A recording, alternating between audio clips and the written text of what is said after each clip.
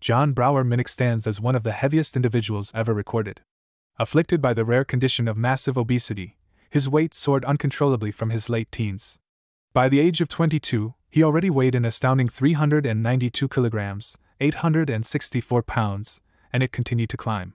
Hospitalized in 1978 at a staggering 635 kilograms, 1,400 pounds, Minnoch was immobilized and reliant on others for movement.